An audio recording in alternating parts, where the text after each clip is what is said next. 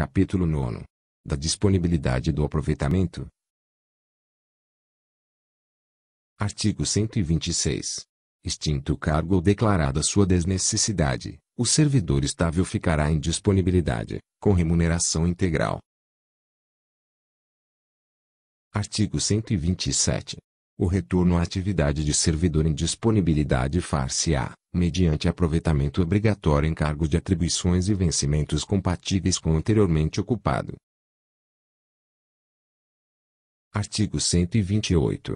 O aproveitamento de servidor que se encontre em disponibilidade há mais de 01 ano dependerá de prévia comprovação de sua capacidade física e mental, por junta médica municipal. Parágrafo 1.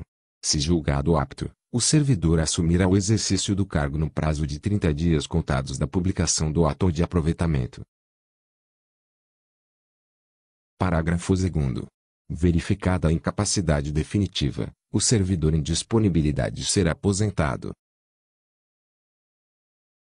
Artigo 129. Será tornado sem efeito o aproveitamento e cessada a disponibilidade se o servidor não entrar em exercício no prazo legal, salvo doença comprovada por junta médica municipal.